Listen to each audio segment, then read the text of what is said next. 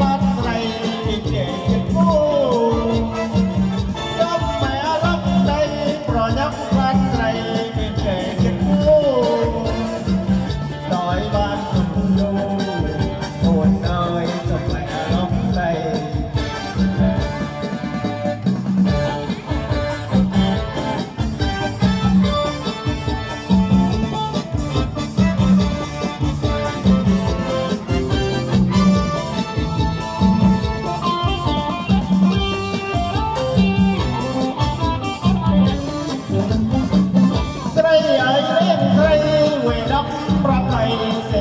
ក្រមុំ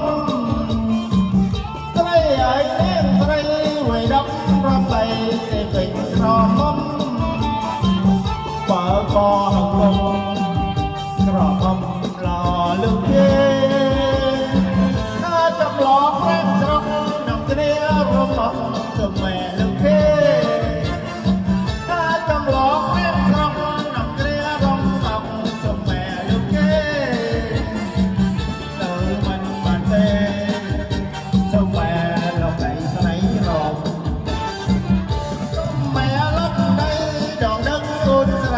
cho ngồi cùng đó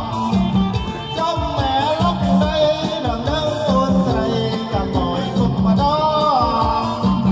bệnh lên thì phong